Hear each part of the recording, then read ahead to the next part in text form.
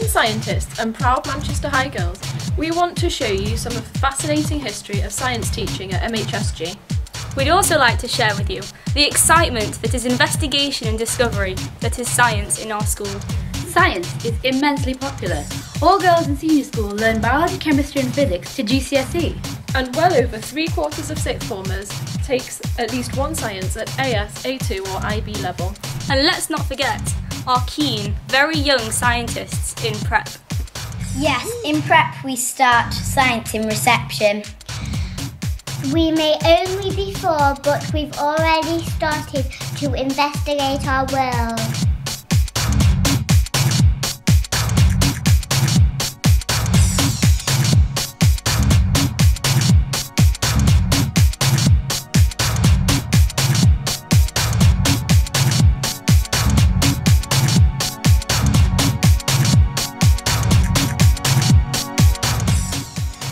Can see, the desire to investigate and experiment sets in very early.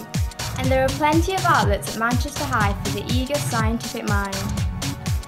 But in the mid 1800s, educational prospects for women were gloomy, and opportunities for girls to study science were limited. But we also know that the founders of Manchester High School for Girls thought differently. And so we decided to investigate.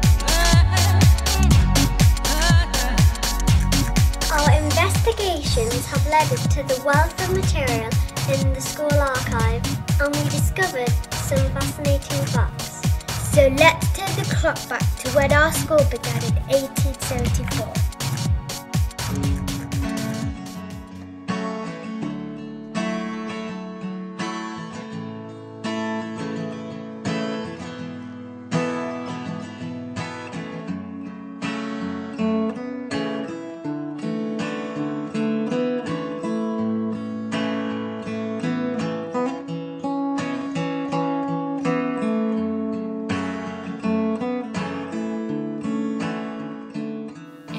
19th century, women could not study properly at university. There were some girls' public schools, but they were mostly small and not very academic. The idea that girls deserved an academic education was highly controversial, and many influential people were openly against it.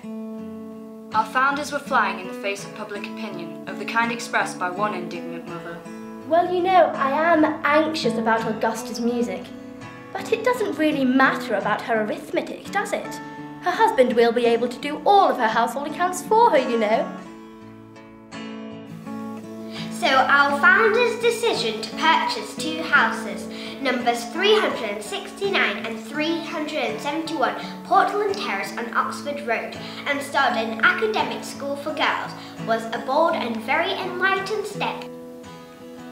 By the end of 1873, the founders were becoming very nervous that their vision of an academic school for girls would not happen. Only 20 pupils had enrolled. But, as it turned out, there was no need to worry. On January 19, 1874, the parents simply poured in. 60 girls enrolled, and a hansom cab had to be ordered to take the heavy weight of the gold as fees to the Union Bank on Oxford Street. Later, the houses on Portland Terrace were demolished to make way for new buildings for the University of Manchester. And here, where Manchester High first started, there now stands the Stopford building, which houses Manchester Medical School. So, MHSG girls studying medicine in Manchester are closer to their roots than they might imagine.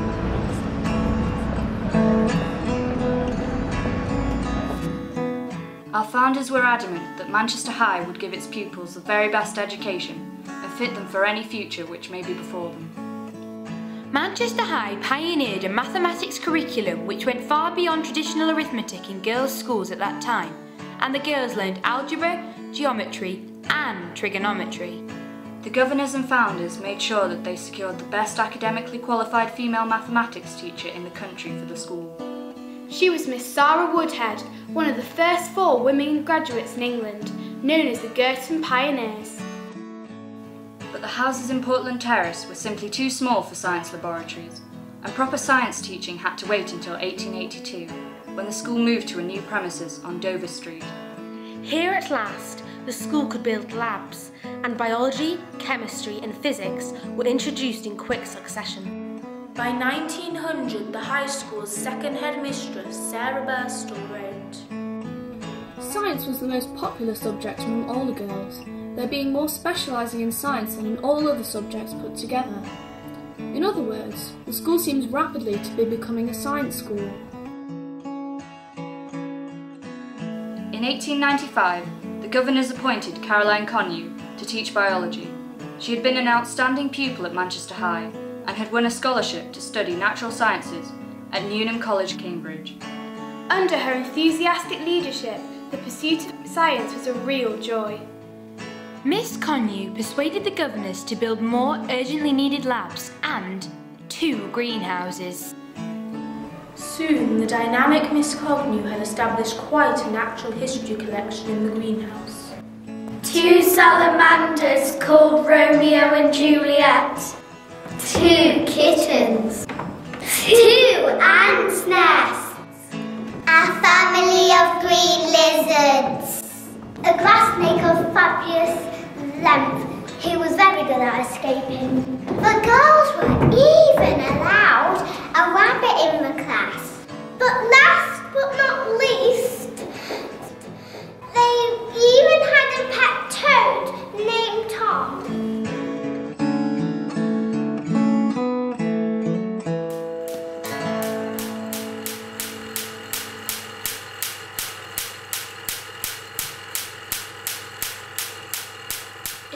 great fun, but mm, I'm not sure we'd be allowed a grass snake nowadays.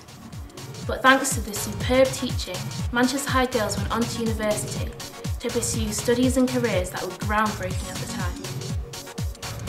Manchester High girls Sarah Lowe and Dorothea Popplewell were the university's first women science graduates, and Catherine Chisholm, who later became a school doctor, was the first woman student to enter Manchester Medical School and to qualify there as a doctor.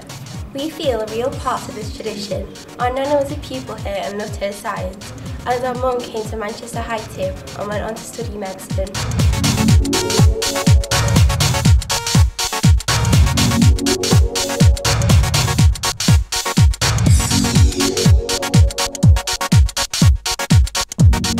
And so the conclusion of our investigation? Our founders and Miss Coignou were right. Science is a joy and so much part of our lives as young women setting out into the world.